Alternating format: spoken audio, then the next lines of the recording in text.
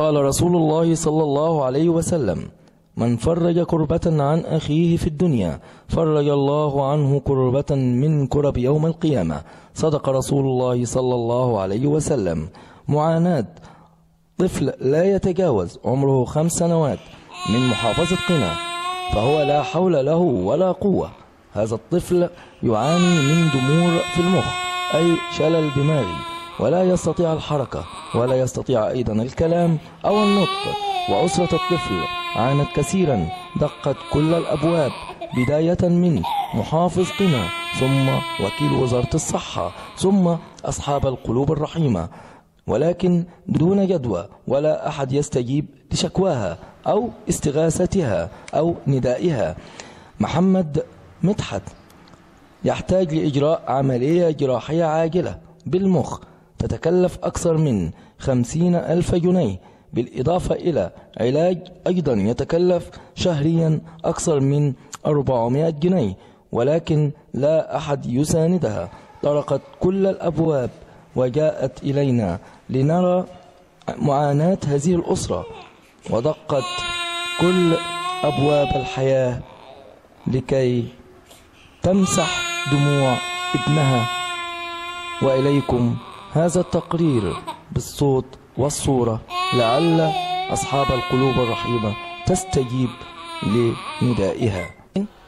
النهاردة معنا حالة إنسانية حالة من الحالات الصعبة حالة الطفل محمد عمره خمس سنوات يعاني من ضمور في المخ. أم محمد هتقول لنا مشكلة ابنها إيه ورحلتها مع العلاج ومع محمد. أهلا وسهلا محمد. أهلا أستاذ طارق آه، أم محمد ممكن تقول لنا آه، محمد آه، بيعاني من إيه بالظبط و... ورحلة علاجه إيه؟ بسم الله الرحمن الرحيم. أنا رحت كشفت الدكاترة كتير بيه. رحت مصر وأسيوط وسوهاج وهنا. كل دكتور يقول له عنده مغص عنده اللي عنده تفاخ واللي يغير اللبن الصناعي بتاعه من هو صغير. وهم ما يعلموش يعني يعني بالكشف اللي إحنا بنكشفوه الفلوس اللي بنجيبها بنجيبها إزاي؟ عشان نكشف الكشف ده يعني. بس في آخر دكتور قال لي ده عنده نسبة ضمور في المخ. طب كاتب لي على علاج 8 400 جنيه والعلاج أصلا من دول غلي. تاخدي معاش آه، لمحمد؟ آه 320 و3 جنيه. في ظل آه، الظروف الصعبة اللي بنعيشها النهاردة 320 جنيه أو 350 جنيه ما بيعملوش حاجة في ظل علاج 400 جنيه. بتعمل إيه؟ ابى نمشي على كد حالنا. الحمد لله. والده شغال إيه؟ أرزق على باب الله. آه، محمد مشكلة ضمور في المخ منذ ولادته. آه، يعني شك يعني شكيت في هذا الأمر إزاي و... كان بأول ما اتولد كان بيصرخ كتير قوي. بقيت مش عارفة آكل ولا أشرب ولا أنام خالص نفسي أنا من خمس دقايق ما أعرفش 24 ساعة صريخ. كل ما أروح أكشف عند الدكتور يقولوا ده ده من اللبن الصناعي بتمغص وده ما فيش فايدة. أروح أعمل إشاعة 850 جنيه يروح يقول لا ده ده عنده اتفاخ. عشان يعرفوا عنده إيه؟ يقول ما فيش حاجة. طب بيصرخ من إيه؟ ما أعرفش يعني كل دكتور شكل نروحوه. بس الآخر مرة رحت التأمين الصحي مع اني معيش فلوس تبع الدولة يعني.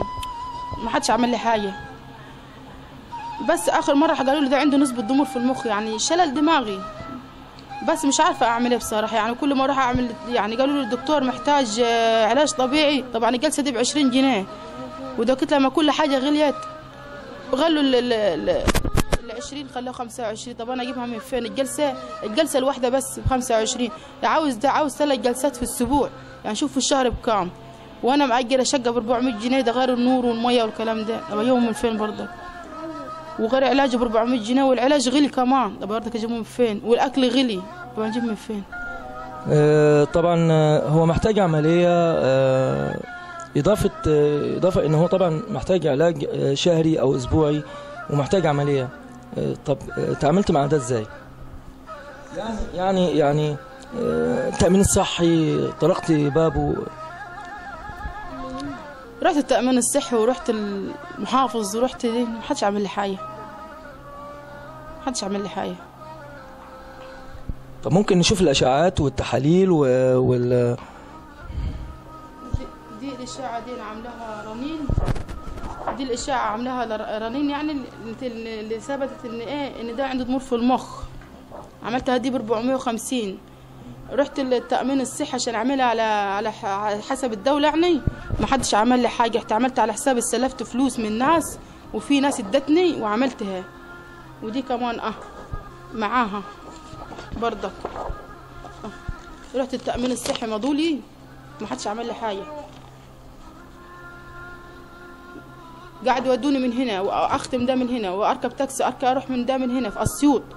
كل حتة كل مكان أروحه يختموا لي فيه وما حدش يعمل لي. في الآخر قالوا لي لا. ما فيش. ما فيش يعني حاجة تبع تبعنا. ده الإشاعات. شاف شاف روشتات واشعاعات وعلاج و الروشتات دي اللي كشفت عند الدكتور كله دكتور الشكل كله دكتور الشكل ده غير الر- غير اللي رميته كتير كان معايا أنا كتير. كتير. يعني طرقت كل الأبواب ما تركتيش باب. ولكن تامين صحي ما وقفش معاكي. المحافظة. وكيل وزارة الصحة. آه ادمة ال- المحافظ. مفيش حد واقف معاكي؟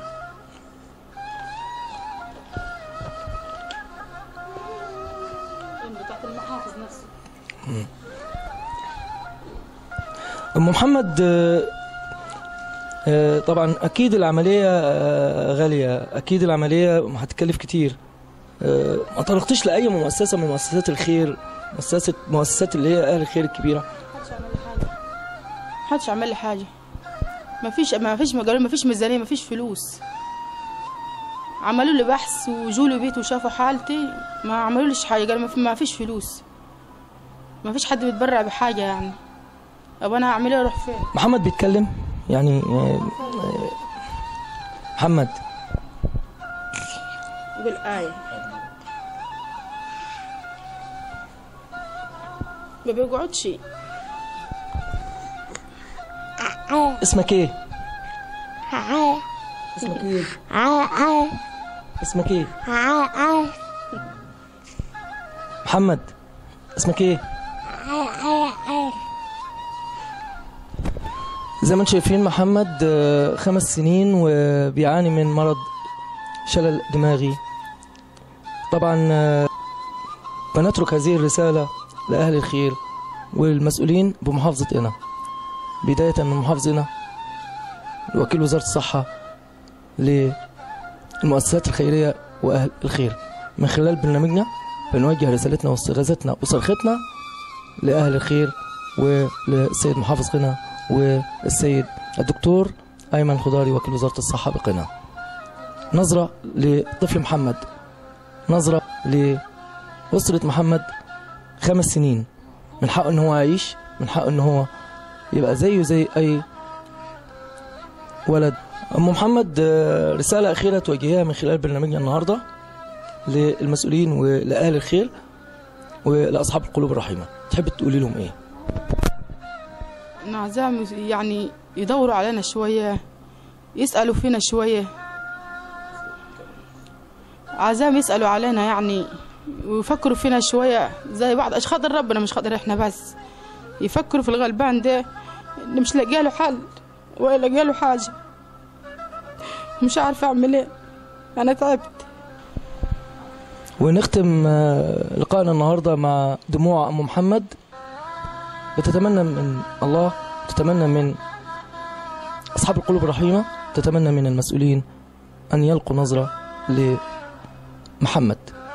محمد من حقه أنه يعيش من حقه يأكل ويشرب من حقه أنه يمشي زي الأطفال زمايله من حقه أنه يروح مدرسة من حقه يعيش حياة كريمة من حقه أنه يتعالج. نختم النهارده رسالتنا النهارده وأقول لكم السلام عليكم ورحمة الله وبركاته.